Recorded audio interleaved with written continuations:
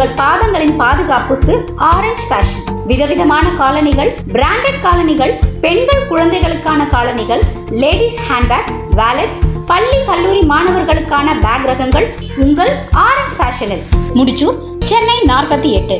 Orange fashion சென்னையில் பெருந்தலைவர் காமராஜர் பிறந்தநாள் நிகழ்ச்சிக்கு பேரமைப்பின் மாநில தலைவர் திரு ஏ எம் விக்ரமராஜா அவர்கள் பங்கேற்றார்.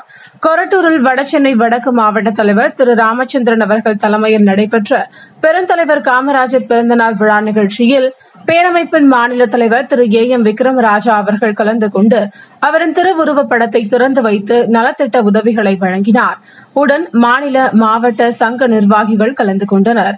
இதனையடுத்து சென்னையில் உள்ள பெருந்தலைவர் காமராஜர் நினைவில்லத்தில் பேரமைப்பின் மாநில தலைவர் திரு ஏ எம் விக்ரமராஜா அவர்கள் திருவுருவ சிலைக்கு மாலை அணிவித்து மரியாதை செலுத்தினார்.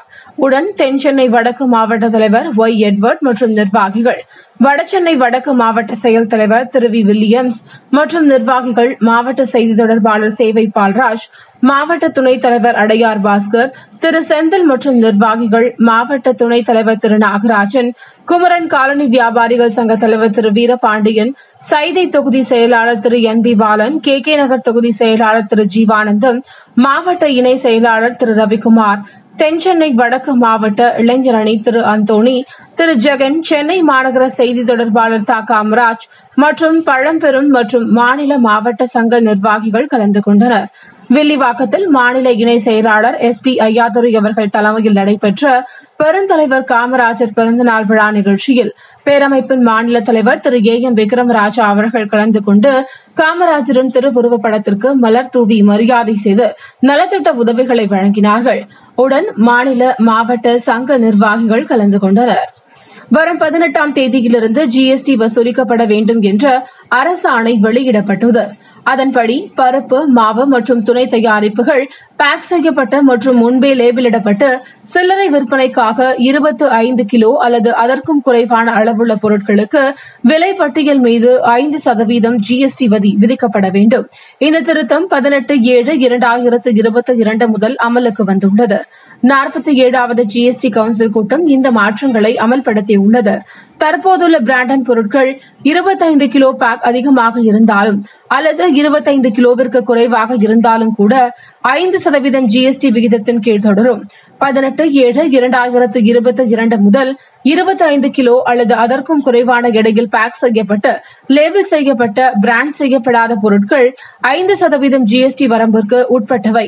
பிராண்ட் செய்யப்படாத பேக் செய்யப்பட்ட மற்றும் லேபிளிடப்பட்ட பொருட்கள் பதினெட்டு ஏழு இரண்டாயிரத்து இருபத்தி இரண்டு முதல் ஐந்து சதவீத ஜிஎஸ்டி வரியுடன் விலைப்பட்டியல் செய்யப்பட வேண்டும். எனவே இருபத்தைந்து கிலோவிற்கு மேல் உள்ள பிராண்ட் செய்யப்படாத ஃப்ரீ பேக் செய்யப்பட்ட மற்றும் லேபிளிடப்பட்ட பொருட்களுக்கு ஜிஎஸ்டி வரியிலிருந்து விலக்கு அளிக்கப்பட்டுள்ளது. எனவே ஜிஎஸ்டியிலிருந்து விலக்கு பெற தேவைப்படும் நிபந்தனைகளாக பதிவு செய்யப்படாத பிராண்டாக இருக்க வேண்டும். இருபத்தைந்து கிலோவிற்கு மேல் எடை இருக்க வேண்டும். இருபத்தைந்து கிலோவிற்கு கீழ் இருந்தால் அது லூஸ் பேக்கிங்காக மட்டுமே இருக்க வேண்டும் எனவும் தெரிவிக்கப்பட்டுள்ளது.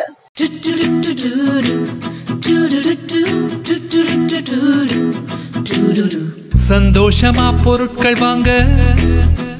மணிமளிகைக்கு நீங்க வாங்க. வாங்க வாங்க வாங்க. தரமான பொருட்கள் எல்லாம் மணிமளிகையில் கிடைக்குதுங்க. வாங்க நீங்க வாங்க. ஹாப்பி ஹாப்பி ஷாப்பிங் எப்பவும் நமக்கு. ஆஃபர்